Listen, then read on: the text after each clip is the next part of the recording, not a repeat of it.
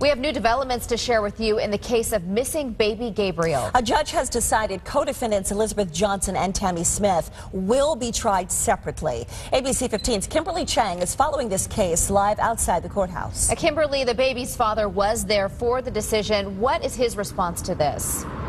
He says he is frustrated. His son has been missing for about a year and a half now, and he's not getting closer to any answers. Johnson, the baby's mother, was in court yesterday. She's facing charges in connection with baby Gabriel's disappearance, along with Tammi Smith.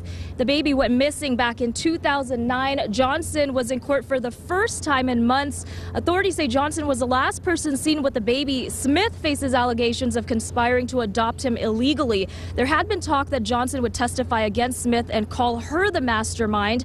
Now the two women will have separate trials. Outside the courthouse, Gabriel's father says he's not sure he'll ever get closure. You know, it's never going to go away. It's always going to be there and it's always going to hurt.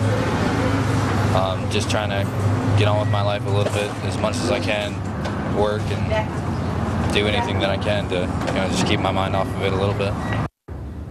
Meanwhile, Johnson's lawyers are trying to get her case dismissed, claiming that a detective in San Antonio questioned her early on without her lawyer's pres uh, presence. A motion to dismiss hearing is set for May 25th. Johnson's trial is set to begin August 8th. In Phoenix, I'm Kimberly Chang, ABC 15 News.